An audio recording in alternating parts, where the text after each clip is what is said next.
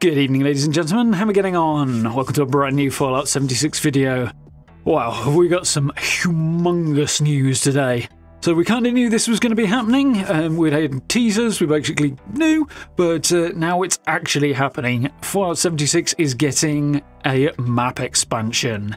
And it's getting it, well, the public test server is getting it today which is really, really cool. So, yes, Bethesda have literally in the last few minutes announced that the public test server is now available to download uh, for the next round of testing. And we will be getting a look at Skyline Valley, the uh, next update and the new area coming to 76 hopefully, all things being equal, at the end of June. So, yeah, that should be really, really cool. So I don't have any footage today, um, as the test server is, as I'm speaking, not yet open, but uh, I am in the process of downloading the update, and I will be bringing you some footage as soon as I possibly can, and um, we'll see if we do some more stuff as well, but yeah, I'm going to be all over this because I'm very excited. Potentially, don't want to jinx anything, probably shouldn't say this, but I'm going to anyway potentially a new map update could be the most significant expansion, especially when you couple it with the um, impact of the series in the last week or so. Could be the most significant thing to happen to 76 since uh, Wastelanders at the beginning of 2020, potentially. So uh, here's hoping. Yeah, I'm going to be all over this when I get a chance. So, for now, we'll have a look at the inside the Vault blog post and uh, see the text of what's going on, because there's, there's some nuance to this. And uh, yeah, we'll uh, get into actually seeing it as soon as reasonably possible. Probably tomorrow for footage. But uh, yeah, definitely keep it here. So, uh, you know, subs, notification bells, all that good stuff. And let's have a look at this thing. Oh, I'm excited. So, yeah, the uh, same splash screen we've seen before. Very, very cool. Um, fantastic new event. There'll be a public event that we're having a look at. Reference to Vault 63, that is down at the bottom of the ash heap. So, presumably connecting through in some way. Should be interesting.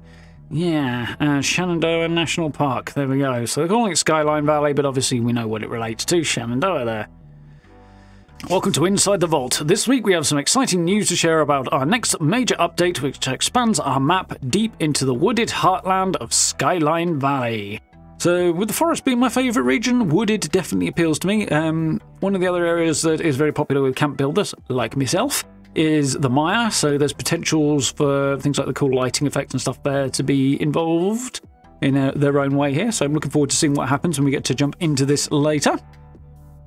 So, starting today, Vault Dwellers on Steam will be able to begin testing this new update on our public test server, PTS, and providing feedback on the, their experience in our community Discord, which you can stay up to date with all of the 76 news there as well. So, yeah, um, I will link this post down below, so if you want to have a, a gander yourself and follow those links through to the Discord and stuff, you can. Always uh, the fastest way to keep up to date with stuff. Read on to learn more about what's being tested. So, I'm going to do a quick caveat. Obviously, they're going to mention this later, but um, the PTS, the way that works is if you have Fallout 76 on PC through Steam, and only through Steam, you can download the public test server uh, for free. It's um, included in the base purchase of the game through Steam and then it's effectively a second copy of the game on your computer, so bear that in mind, that you can then play with the um, test version that is being tested at whatever point in time it is, assuming, of course, that there is a test version currently live, um, which obviously there soon will be. So yeah, um, via Steam on PC only. Everybody else is going to have to wait for the launch, um, or, you know, follow it on YouTube. Wink, wink, nudge, nudge. so, what we got? The PTS for Skyline Valley update will happen in two parts. Part 1 launches this afternoon will allow you to get acquainted with the new region, participate in a new public event, and stake your claim on the land by placing down camps.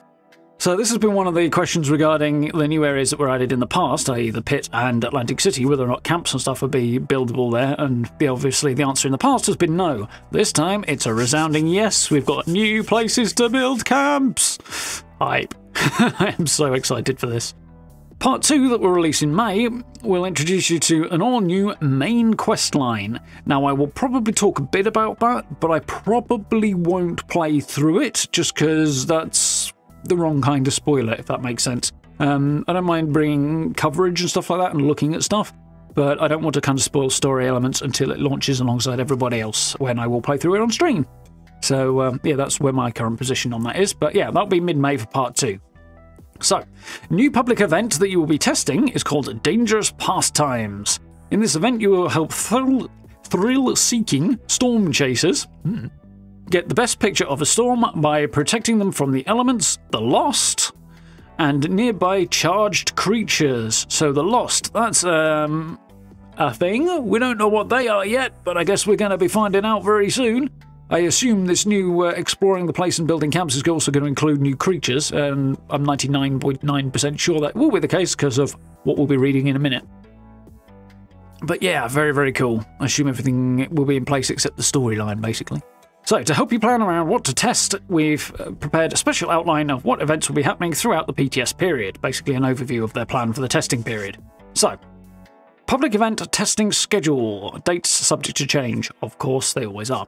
Um, April 18th, that'll be today.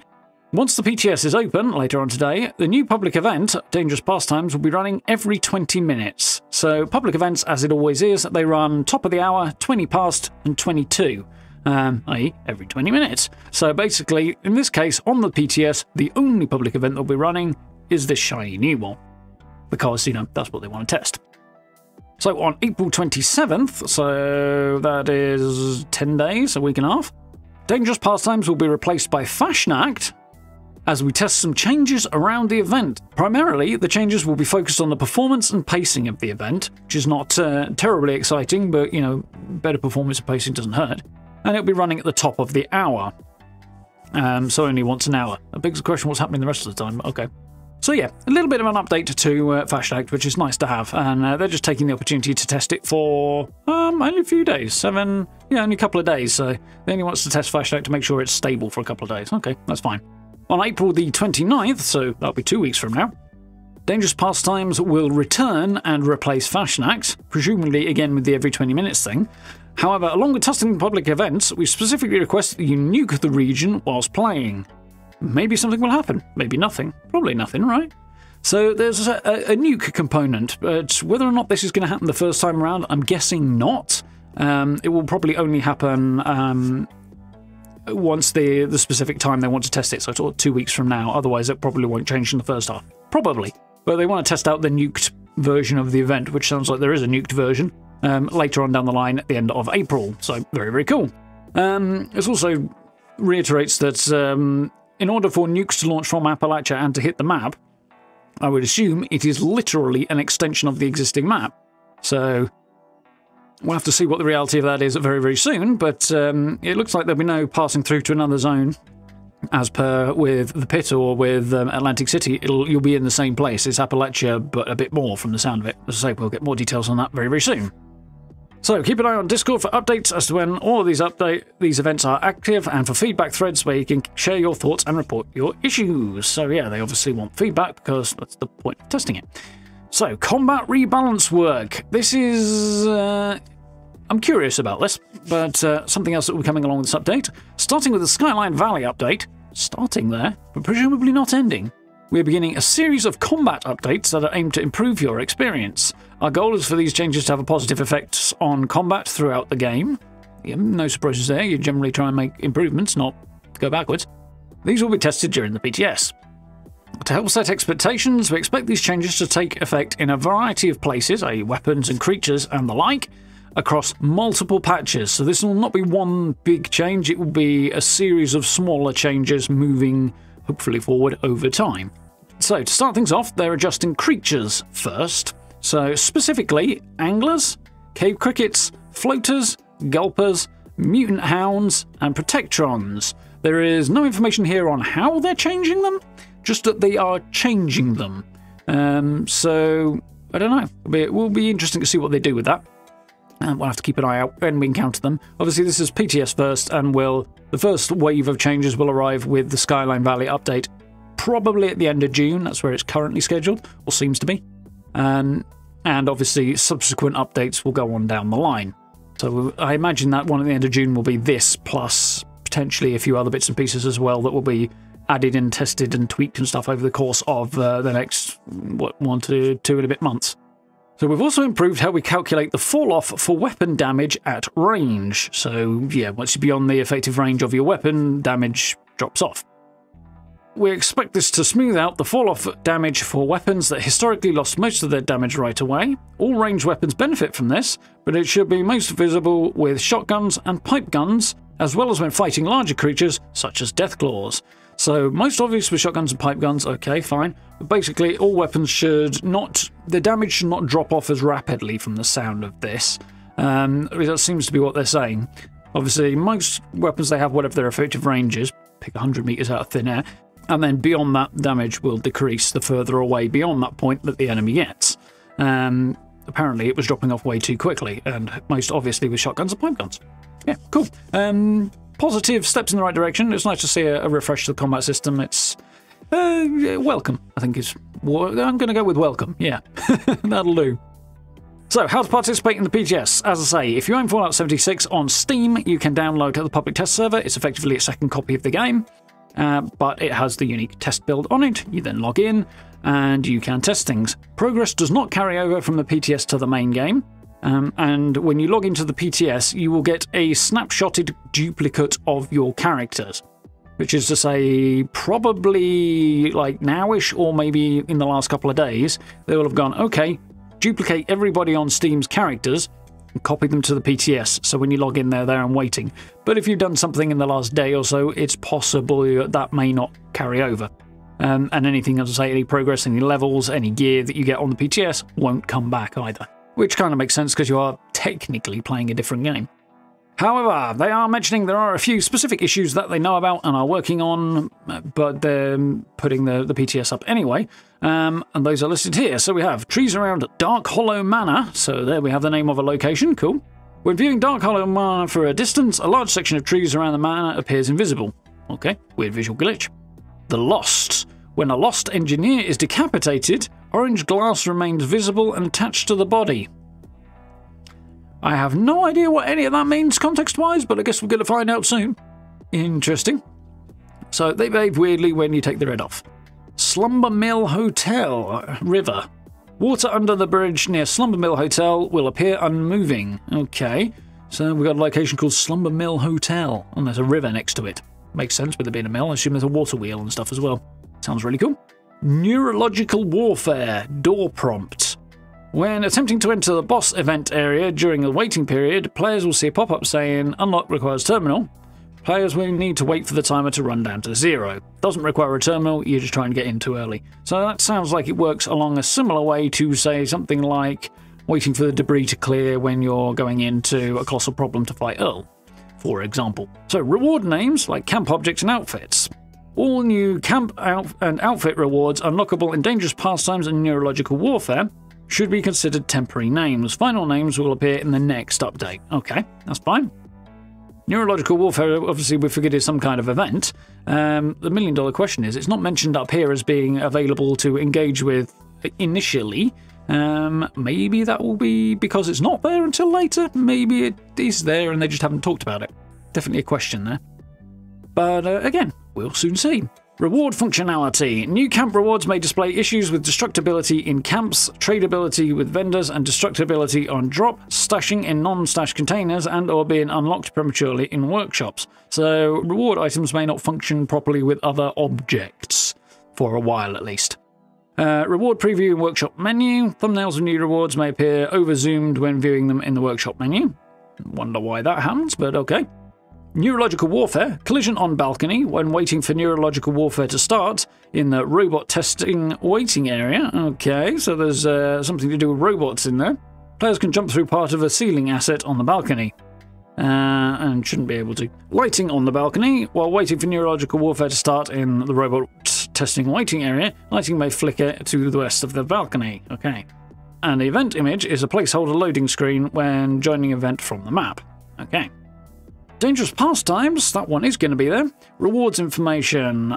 Dangerous Pastimes event has no potential rewards listed in the event information tooltip. So when you mouse over it on the map, little box pops up to tell you about it. it tells you what's there, bit of information about the type of event, how difficult it is, how many players, and what sort of rewards are available. The, the rewards list is currently empty. That doesn't mean you won't get rewards, not that it matters on the test server anyway, kind of. Um, but they're just not listed. Basically just a visual glitch or visual thing that needs updating. And last but not least, there is a location called Camp Liberty. Hmm, I'm guessing kind of Pioneer Scouts esque, or some kind of camping type thing, you know, uh, as opposed to like a military camp. Well, we'll find out, won't we? Uh, graphical issues. Players may see enemies and environmental assets appearing in and out inconsistently when looking inside the main camp building. Has been reported when viewing from the north or eastern sides. Okay, there we go. So some main issues.